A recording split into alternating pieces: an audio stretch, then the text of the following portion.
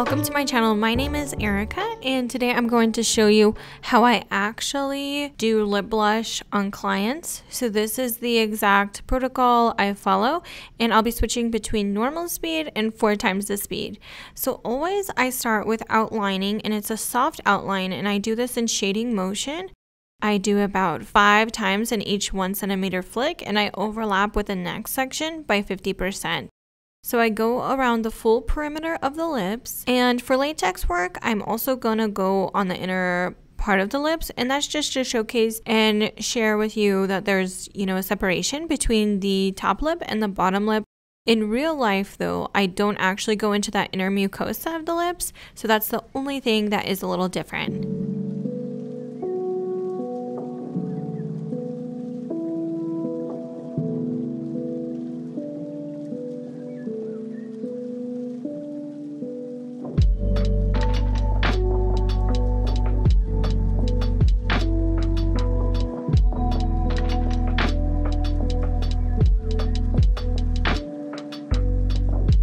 with shading motion, you can see my needle is working and I'm moving my hand at a medium to fast hand speed.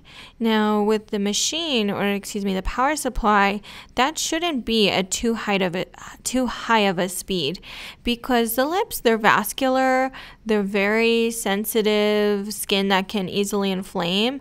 So we're trying to place the color and inject the color into the tissue and try not to traumatize the tissue more than is necessary.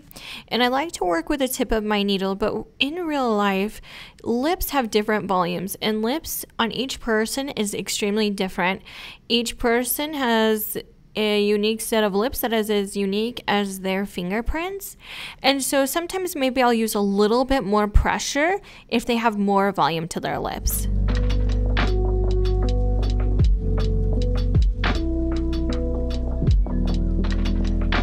So once I finish my outline, I'm going to go ahead and check and I'm always using baby oil and baby wipes. I like to put all of the pigment into the oil and then I wipe, wipe, wipe. I'm trying to kind of peel it off of the latex. Um, carbon or organic pigments kind of dry really fast. You could see it's immersed in the liquid and then I wipe. That's how you keep your latex really clean. So it's a pretty good outline, maybe a small spot where it's a little inconsistent.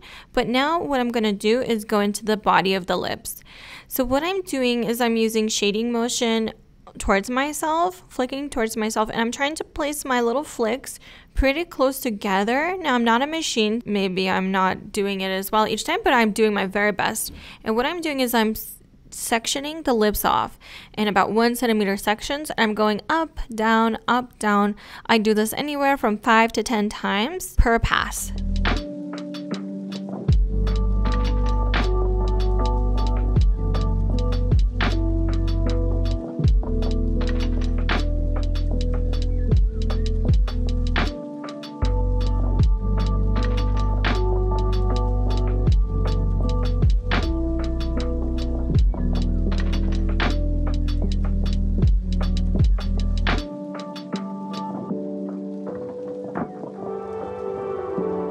For me, I like to use single needles from Vertex.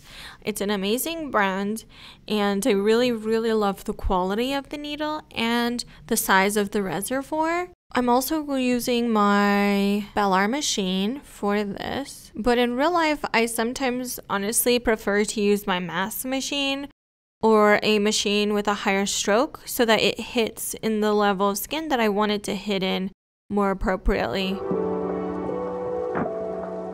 So for this setup, I'm using a critical atom power supply. For the voltage, I'm actually moving anywhere from 4 volts up to 4.5 volts. And I really like that. Now, keep in mind, depending on the skin you're working on and depending on the machine or handpiece you're working with, it can be and it should be adjusted. So again, I'm placing my flicks close together. I'm going back up and then I'm going to overlap with the previous section. and I'm moving along. I pick to move either clockwise or counterclockwise from the top lip down to the bottom lip and all the way around. Therefore, I'm keeping the application of pigment consistent in each area and I'm trying to get a better result that heals more uniformly.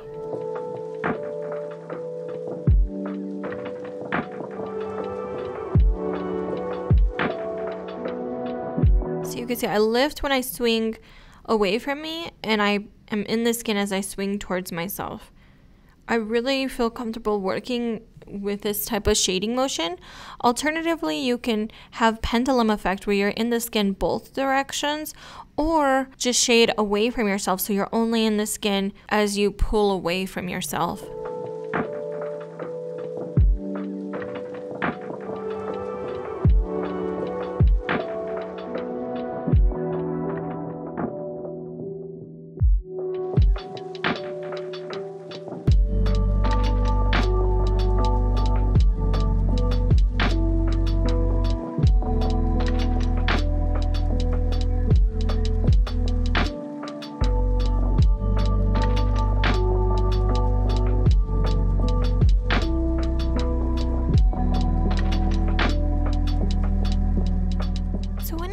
Practicing and when I'm working on my clients, I'm always trying to work with my fingers.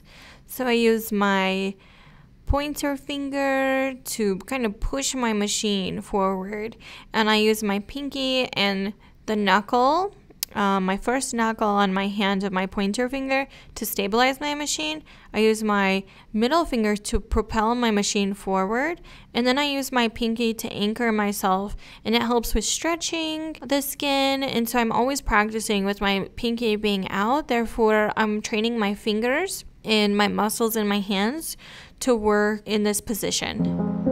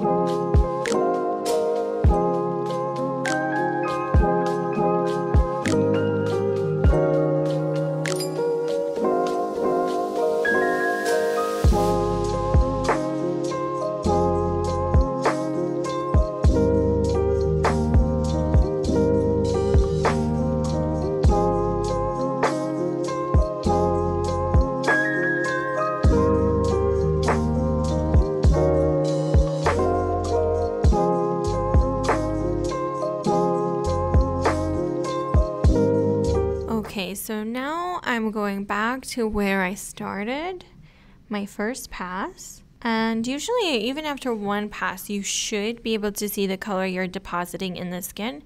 If you're working and there's no color being deposited, something's wrong. Either your depth isn't right, your speed is off, your machine, uh, your power supply speed is off. So I would check all of those things and check the quality of your needle um, before continuing on. So what I'm doing is my second pass and I'm going to move in the same direction as my first pass. In this pass though, I'm changing my direction. Instead of moving horizontally, I'm moving diagonally and I'm trying to overlap and place my flicks close together as I work in each section. While I'm working in skin, I'm always using all of my senses. I'm using my fingers to stretch, I'm using my eyes to see my needle work and see the trail of pigment as it's working that it leaves. And I'm using my ears to try to hear that I'm working in the right depth. I also use my fingers to feel the vibration in the skin. If there's too much vibration and I don't really hear my needle pulling out of the skin, perhaps I'm in too deep in the skin.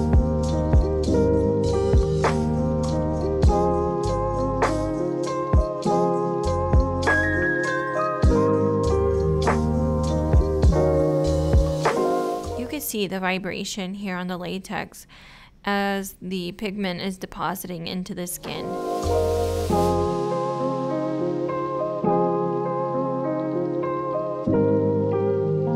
So now I'm working on my bottom lip and I'm changing direction, working diagonally.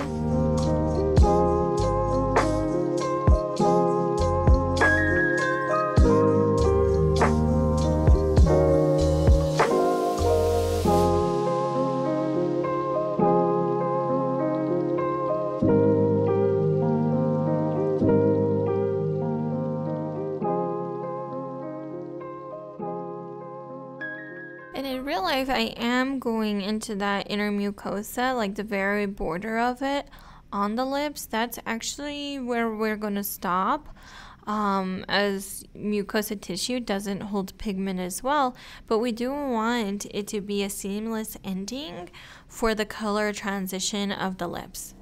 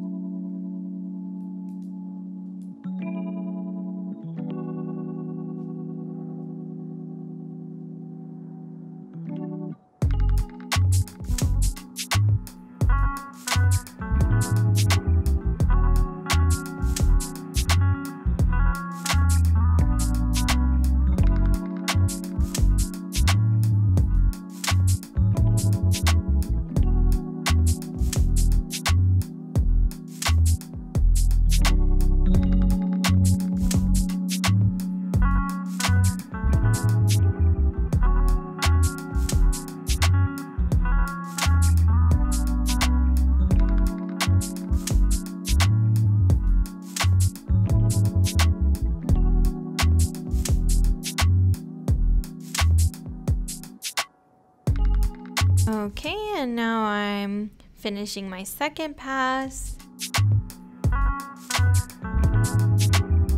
And I'm gonna check with my baby oil and baby wipes.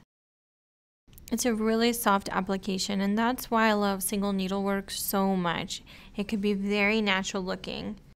So what I'm gonna do is do a third pass and again I'm going to work diagonal but switch direction. Can see the edges of my lips, um, the outer border, there's not too much of a line or lip liner look and I feel like this is a very modern way to approach a lip blushing as a lot of my clients they do not want that solid line of demarcation in addition with lip wear and tear, a lot of the inner portion of our lips is used for eating, talking. So that's where the turnover of the color will be faster.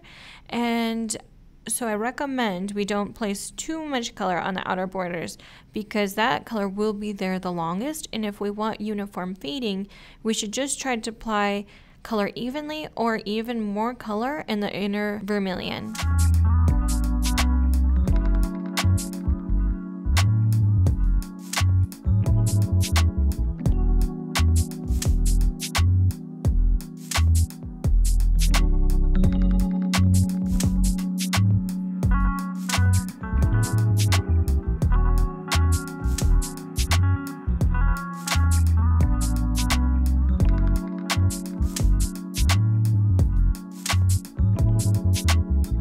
Shade in different directions, and it's really, really similar to the art world where you cross hatch to get a better layout of color and shading or shadowing. It's like coloring from different directions and kind of creating this cross hatching pattern.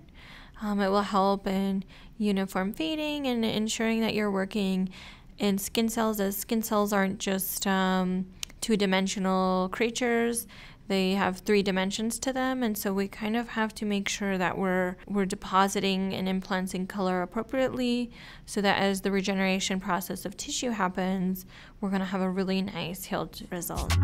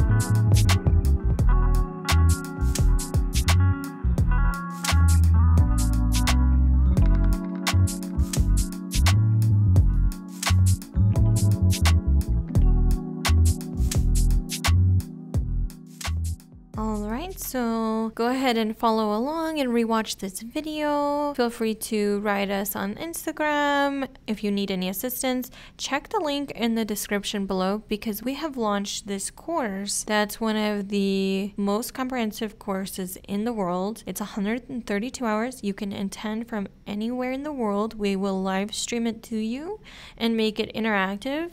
And again, it's live, so you'll get live feedback, live conversations, and therefore you're learning as you're going along and getting constructive criticism as well. And what we will also include is all the products we use that you can buy in our online store. And um, we only use the best products in our clinic and on our clients. Thank you so much for watching. Please like, subscribe, and follow for more permanent makeup and beauty magic. Thank you. Bye bye.